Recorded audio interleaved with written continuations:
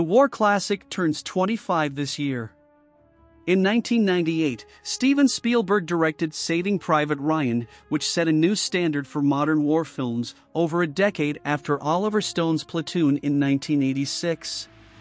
The movie featured a sweeping blend of visceral action sequences, including the iconic opening scene depicting American troops storming Omaha Beach in 1941, and developed a cast of thoughtful and complex characters played by Tom Hanks, Tom Sizemore, and Edward Burns. Saving Private Ryan instantly became the new benchmark for war movies, and almost every subsequent film in the genre owes a debt of gratitude to Spielberg and his team for creating the blueprint for cutting edge wartime cinema. Over the last 25 years, there have been several exceptional films about the harsh realities of war, such as Black Hawk Down, Dunkirk, 1917, and Hacksaw Ridge, each of which has been influenced by Spielberg's groundbreaking work. Saving Private Ryan strips war of any romantic glory. What Spielberg and acclaimed cinematographer Janusz Kaminski, Schindler's List, Amistad, pulled off with Saving Private Ryan was nothing short of spectacular. Forget that it was one of the most commercially successful war films ever made, raking in close to half a billion dollars, yes, billions with a B, worldwide. That was just a byproduct of all the things that he, along with his cast and crew, were able to deliver from the moment the movie starts. The 25 minute storming of the beaches at Normandy during World War II is the most intense and compelling battlefield footage that has ever made its way to the big screen. The nightmarish events of the D Day assault are so incredibly hellish that any romantic notions you may have had about the glory of war should have been dashed and put to rest for good. From gruesome disembowelment to gory dismemberment to the shell shock of a salty soldier and the film's lead, Captain John H. Miller, Hanks, amid all the blood soaked upheaval, sitting in the theater for that half an hour is something all who saw it will never forget. It is still the closest we have ever been taken to a battlefield that those of us who have not served will ever experience. Most of us needed a breather afterward, and Spielberg deftly brought our blood pressure down just enough to establish a splendid and diverse group of soldiers assigned to retrieve Private James Ryan, Matt Damon, who is the only survivor in a family that includes three brothers who have all been killed in action. Along the way, he continues to add layers to the players to make sure that he has complete control of our emotions throughout. It's the kind of exhilarating thrill ride and art form that we celebrate and pay so handsomely to enjoy.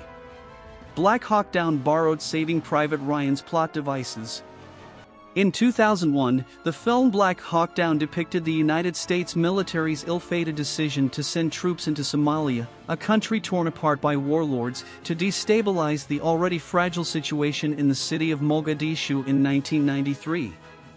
This film was one of many war movies that followed in the decades after Saving Private Ryan and was heavily influenced by it.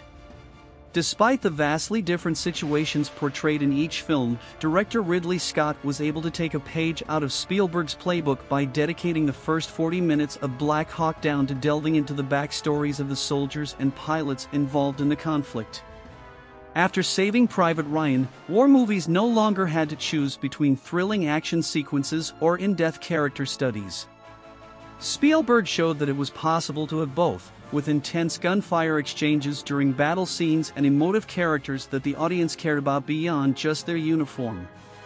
In Black Hawk Down, taking the time to introduce key players such as SSG Matt Eversmann, played by Josh Hartnett, SPC John Grimes, Ewan McGregor, and LTC Danny McKnight, once again portrayed by Tom Sizemore, increased our emotional investment in the film and made the experience more relatable.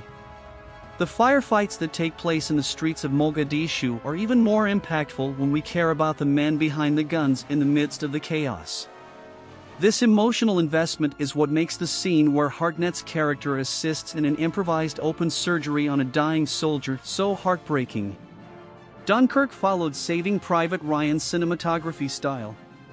One of the finest aspects of Saving Private Ryan is that from the first second of the first scene of the film, we are completely immersed in the American involvement in World War II. The fear on the faces of the young men on those boats is so palpable, you can almost taste it. One soldier is riddled with angst, another prays, and a third vomits from the almost blinding terror of what they're about to experience. Dunkirk follows the story of the bloody battle on the northern French shores that left hundreds of stranded British troops to die. Acclaimed writer slash filmmaker Christopher Nolan crafts well-written characters who are heading into a battle they've already lost, but you see Ryan's influence more in the outstanding if not more waterlogged cinematography. Spielberg had already shown Nolan and his cinematographer Hoyt van Hoytema Ad Astra, Nope, how to optimize the use of a beachline battlefield for the cinema. And while Nolan gets full credit for adding some of his stylized and dizzying aerial shots that we've seen in his Dark Knight films and Interstellar that were specifically shot for IMAX viewing, the bloodied bodies on the beach and attacks on the approaching boats carrying terrified soldiers have Saving Private Ryan's signature all over it. And by the time this project hit theaters in 2017, we were already expecting a marriage of character development and majestic shooting because we had seen it 20 years prior. All told, Dunkirk is one of Ryan's most worthy proteges detailing the British efforts in the war. 1917 raised the bar for how war movies should look. The thing about the 2019 Sam Mendes film 1917 is that it parallels Saving Private Ryan in a far more subtle way while using some of the best camera and visual effects work in the history of cinema. While Spielberg's film opens with its seminal beach siege, 1917's spectacular battlefield sequence occurs at the movie's end. The first act is built on the dizzying, indefatigably long single takes that go on forever without a single hitch. The second half of the film is a masterclass in visual effects by cinematographer Roger Deakins, one of, if not the greatest working today, as night turns into the following morning.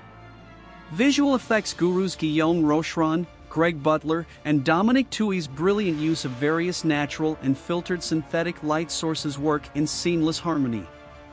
They all took home Oscars for their work, and if you've seen the film, you can't help but feel like if Kaminski hadn't accomplished what he did with Saving Private Ryan, 1917 wouldn't have been such a visually exceptional movie.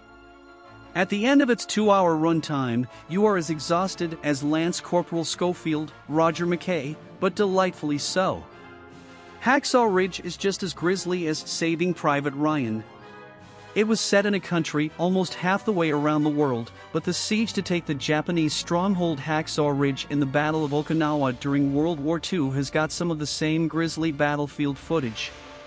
The 2016 film starring Andrew Garfield as conscientious objector Private First Class Desmond Doss, who refused to carry a gun because of his religious beliefs, but still saved 75 men from the jaws of certain death as they lay bloodied and dying on the battlefield, is every bit as gruesome as Saving Private Ryan you can see director Mel Gibson and his cinematographer Simon Duggan, who will be working with George Miller on Furiosa, employ a lot of the same camera lines and rotating points of view as Spielberg and Kaminski did to get us in the middle of the destruction on the beaches of Normandy in the film that is still influencing the way we experience the modern war film as we near its 25th anniversary in July.